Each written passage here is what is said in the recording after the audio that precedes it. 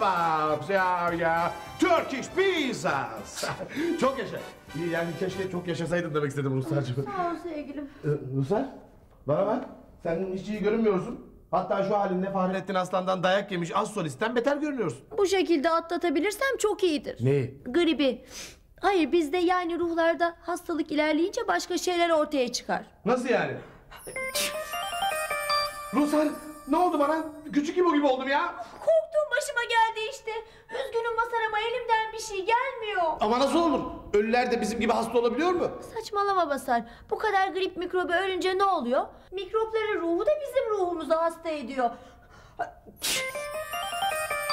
Hayda bu sefer de haber şaklabanlığı yapan basketçi Halil İbrahim'e döndüm ya. Üzgünüm Masar. Ruslar boyumla oynayıp durma Allah aşkına. Unutma ki önemli olan boyu değil işlevidir. Oh, oh hoppala. Şimdi kollarım basketbol oynamaktan evrim geçirmiş gibi oldu. Kusura bakma sevgilim. İyisin değil mi? Üf, üf, üf, üf. Peki neden böyle oluyor? Hadi hastalanmanı anladık ama bu abuk subukluklar niye? Hapşırınca benden bir güç çıkıyor. Ve ben de bu gücü kontrol edemiyorum.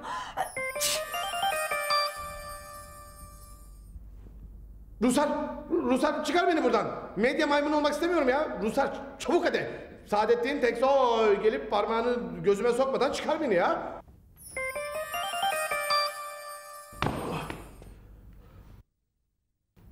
Oh be. Rusar söyler misin senin bu durumun daha ne kadar devam edecek? Bir hafta. Ruh gribi de beden gribi gibi bir hafta sür.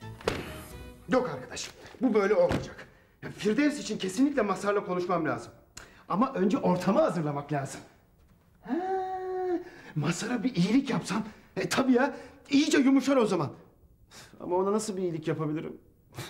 Tasty, çok tasty lahmacun. Fingerlarınızı yersiniz valla. Yani of course Turkish Oriental Pizza. Aman Allah'ım, yeşil oldum. Beni böyle görürlerse yeşili yakaladık diye götürürler valla. Kocacığım. Seni hemen düzeltiyorum. Oh be, insanın kendi öz rengi gibisi yokmuş ya. Masar, sana daha fazla zarar vermekten korkuyorum hayatım. O yüzden hapşırmam geçene kadar öbür tarafta kalmaya karar verdim. Ay canım benim, canım canım. Ölüyken bile kocasını düşünürmüş. Ama hayatım bugün bizim tanışma yıl dönümümüz. Bunu kutlamayacak mıyız? Peki o zaman akşama dönerim.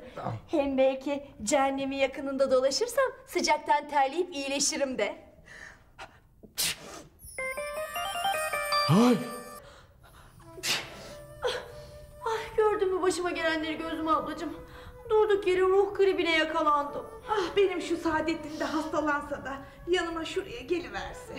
Üstelik bu akşam mutlaka Masar'ın yanına gitmem gerekiyor. Tanışma yıl dönümümüz. Ruhsarcığım hazır gitmişken benim şu Saadettin'e uğrayıversen de araba kullanıyorsa frenlerini patlatıversen ha. Ah çok özledim Saadettin'imi. Aman hiç olur mu öyle şey be gözüm abla? Aa, neden olmasın? Erkek veya kadın öldüğünde karısı veya kocası niye ardından pat diye rahmetlik olur hiç düşünmedin mi? Gözüm abla içim sıkılıyor. Sanki aşağıda kötü bir şeyler oluyor. Masarın başına çorap örüyorlar. Sakın ha! Aşağı inersen hasta olduğun için masara zarar verebilirsin. E gücünü kontrol edemiyorsun çünkü. Biliyorum ama ya tanışma yıl dönümümüz ne olacak? Ah canım. Aslında belki de hapşırmasan bir şey olmaz. Ama ne yap yap burnunu kapalı tut.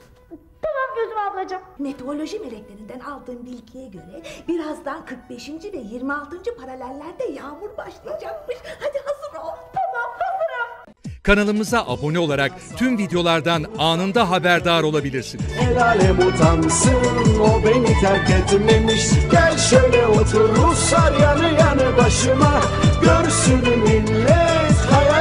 yan yana Ruhuna sağlık Rus acımı